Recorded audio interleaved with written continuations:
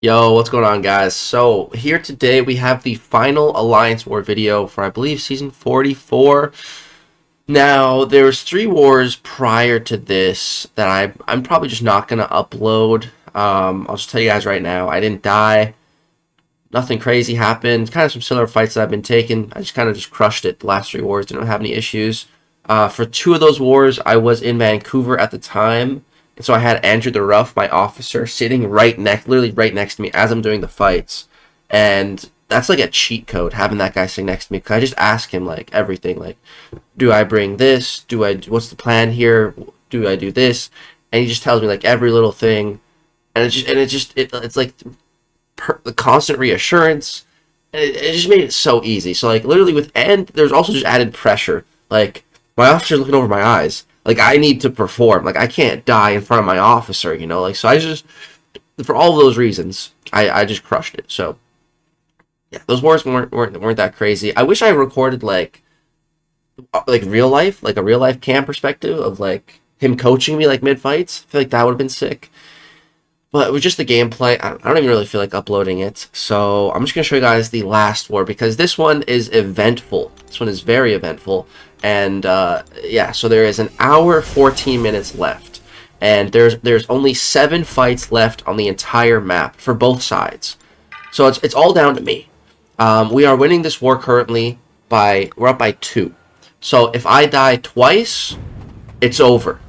If I die once, we're good. If I don't die at all, again, we're good. Uh, and But I do have a boss fight, a gladiator war boss, rank 2 7 stars. So that's going to be very interesting. I was very excited about that. Um, me and Andy were sitting in the airport together, um, and I was he was sitting next to me. He was planning this war, and he asked me, like, "You want to take this gladiator boss with absorbing man?"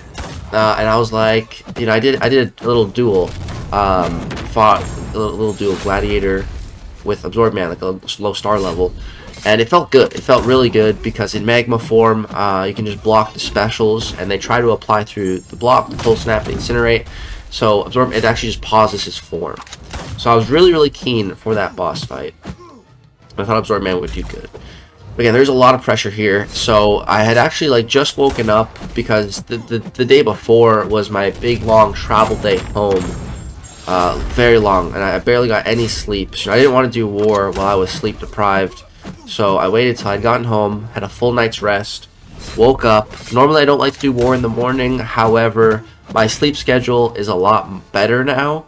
Uh, way, way, way better than it was like one to two to three to four years ago. It, it used to be very bad. So, yeah, I, I, don't mind as much doing war fights in the morning now, because, uh, you know, I, I, can wake up early like a normal person. Not early, but early for me. Um, so, yeah, I didn't mind too much. However, what I did not realize, like I said, I just woken up at this point. What I learned about an hour later was that um, a bunch of people had gotten sick from the event uh, with COVID. And so I did a COVID test, and I, I had a bit of a, bit of a sore throat. Um, but I didn't think I was like full on sick. But like as soon as they said they were sick, like I, I, honestly, as soon as I just heard that, like I started to feel more sick after knowing that. It's like a placebo effect, but it's real. Uh, and I took a took a test, and sure enough, tested positive. So yeah, that's fun.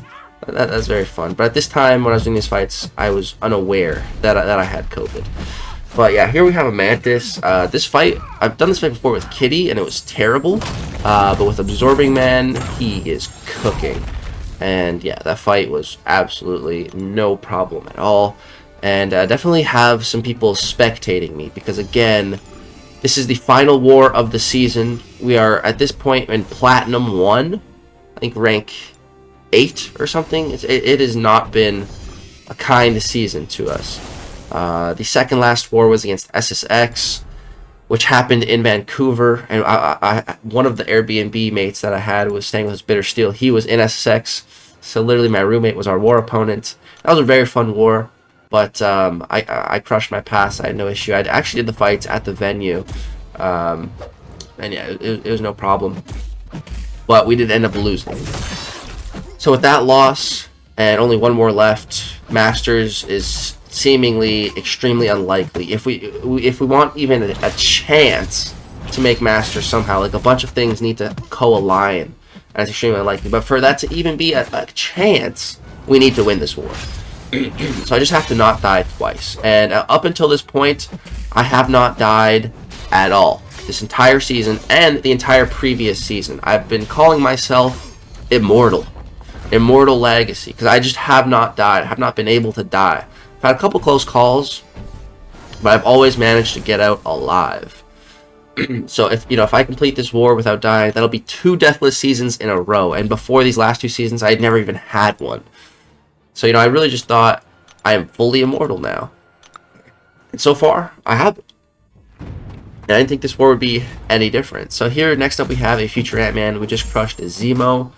So here, if Ant-Man has armor, he's going to try to apply shock to us. But of course, Hulkling is shock immune.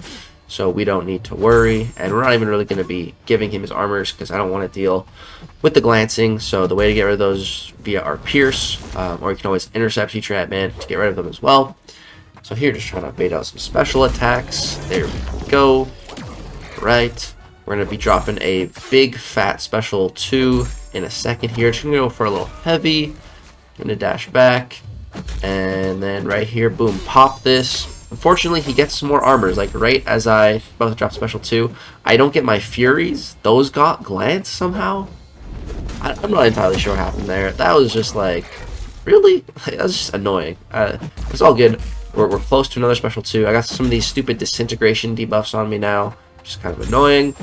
But it's fine. We just need to get back to another special 2. Pop this one. There we go. Actual double Furies. Now let's go ahead and throw the Striker. I'm just spamming it here. It doesn't even connect. But throw another special 2 here. Triple Furies. That is good night to future Ant-Man. And uh, next up here we have a Shuri that um, I almost died to uh, with Hulkling. I, I think I uploaded that. But yeah, this Shuri fight went very terribly last time. Um, so they were, and when Andy assigned it to me, he's like, gonna be okay with that? I'm like, yeah, dude, like, no problem at all. I'm gonna crush that Shuri this time. Like, this time, I know what I'm doing. I'll have no issues. And then the other fight there you see is an Immortal Abomination. So that was the one fight that after Andy had gotten on his flight, um, I was just at the airport by myself. He sent me a message online he was like, hey man, you know, if you're to be doing your, your war fights tonight, be careful about that Immortal Abomination, you know, just with the Conflictor and his own uh, self-applying debuffs, just need to be careful. You know, they just go to a special 3. Because even though Hulkling is poison immune, uh, Immortal Abomination can still apply Acid Burn to poison immune characters. That was in the back of my head. But this fight here, I had I had absolutely no worries. I knew I was going to crush this. I even threw on a Power Start 1 and a Cosmic Boost for both of these fights, just because I want to get both of these fights over extremely quick. I don't want to screw around. So I'm going to go ahead and break Shuri's block here. Make sure I'm comboing into this special 2. There we go. And I'm just going to toss another one. Boom, bam, look at that. And then I'm just going to toss another one. Five Fury special 2. she down, no problem. Like, that fight could not have gone any better. And you can just see there's a bunch of people watching, talking right now. It's a good time. And so boom, here now we get to this Mortal Abomination fight. So this was genuinely like the only fight this entire war that I was worried about, especially because like Andy, you know, he sent me a specific message about this fight. So okay, I, you know, I gotta be careful here, gotta be managing um, his power, and you know, my goal is to just get in here and get out of here quick. I want to just drop, drop some big special twos, you know, try to get like five Furies again cooking, and, you know, we'll, we'll, we'll be good. So, here, start the fight, take a combo to the face. It's okay. It's not the biggest deal. Uh, here, I mess up, but I just throw the special two anyways, because I know it's going to break his block. Um, and that was an okay start. Maybe I shouldn't have done that, so that, you know, the, the power boost could have done a little bit more. But, you know, we're still off to a pretty decent start here. So here he has the bleed gonna push him back with Intimidate. That was a debuff though, um, so that triggered the Conflictor again. So here, I, I should definitely bait out a special here. But he's at a special 2 that I parried, so he went red. So boom, I just throw this because, you know, I don't have time to mess around. It's too late now, he's red. And I don't have an invulnerability boost. I, th I think I should have probably put on an invulnerability boost instead of a Power Start 1 and just kind of taken the fight slower. But I knew the fight's not over. So let me pause right here. Like, I, I, I don't have much time, but the fight's not over yet. You know, I still have half my health. It's going to take a little bit of time for me to fully die. I- am assuming that this acid burn will kill me. Like, I- am going to be dead. But I-, I just need to kill him before I die. He has 30% left. You know, I have two Furies. I have a Special 2 at my disposal. I just need to kill him before I die. We're, it's a race against the clock now. So watch what happens here. Beta Heavy, throw this. We only get one crit. And I die. And I throw the Striker, and I die before it can connect. There goes the Deathless Season. Second one. That that was frustrating. That was frustrating. Uh, if, if that striker could have just connected, I think he would have died. If we got like one more crit on the special two, I think he would have died. Yeah, just just unfortunate. Just uh, just unfortunate there. Just gonna go in here with Absorb Men for a quick cleanup. I'm not reviving and healing Hulkling for 6%. so yeah, kind of frustrating, but again, it's fine. It, it, it, that, that, that, that death is literally irrelevant so long as I don't die again. So long as I don't die again, nothing changes. We, we still win the war. Uh, yeah, like, the, the as long as I don't die again. So I'm thinking, alright, it's fine. Let's just shake it off. Let's just go smash this Gladiator War Boss. It's rank 2. And jump in here with Magma. He has 750,000 HP I'm going to go ahead and switch over to a Mystic boost uh, and also an Invulnerability boost just to be safe. Like I said, I probably should have done that for Mortal Abomination. I think I, I would have stayed alive long enough to kill him. But it's all good. We're going to put it on now. And yeah, someone placed guidance here for us, which is always nice to just have on boss fights. Increases our attack. But uh, yeah, so here, just starting the fight. Gonna be taking blocked hits. Gonna be playing this fight, you know, fairly slow. I will go for some intercepts, but I won't be playing too crazy. And uh, I don't really don't really care which specials he throws. It doesn't matter a ton.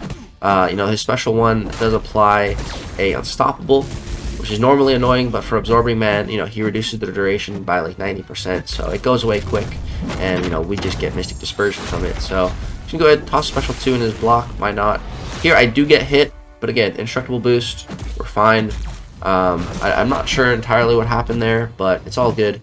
As long as I don't get hit anymore, we should be fine. Hitting a bunch of these light intercepts, keeping our form paused. Everything going great. Hit that special one. You see gives us some nice uh, Mystic Dispersion. So here, going to combo the Relic into a Heavy Chain Special 2. So if you guys are unaware, they recently made a change to the Relics uh, the way that striker stun is like coded in the game so that you know when for two prime examples of this is absorbing man and hercules uh, when absorbing man uh, heavies with the striker when you do a special he gains the full critical rate the full like 18,000 critical rate or whatever it is um, before he wasn't gaining the full thing uh, and same for hercules now whenever he throws a, a, a heavy after a striker, he gets two feats of strength. Before, it wasn't acting like that. He wasn't getting it, the feat on the first hit because it was counting as like a stunned opponent.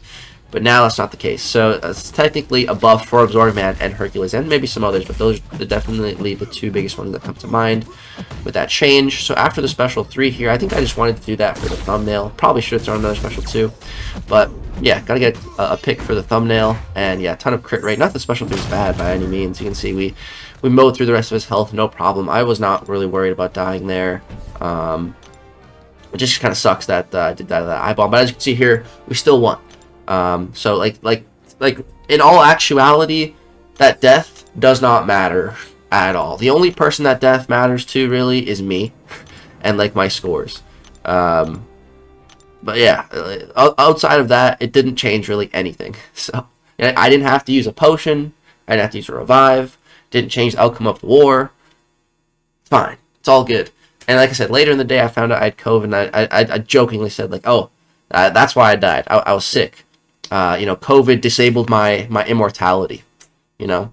Uh, but yeah, uh, unfortunately,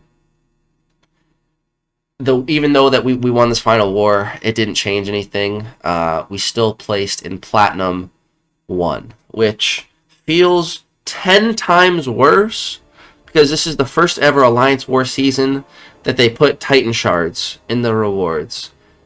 But that's only for Masters, so no Titan Shards.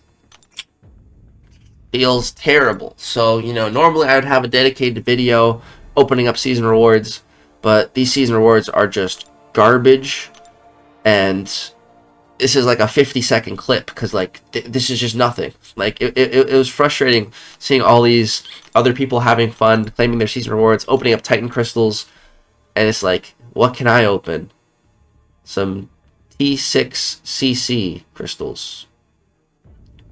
Great. Fun. Like we don't even get the 25% selectors. We don't get it we don't even get one.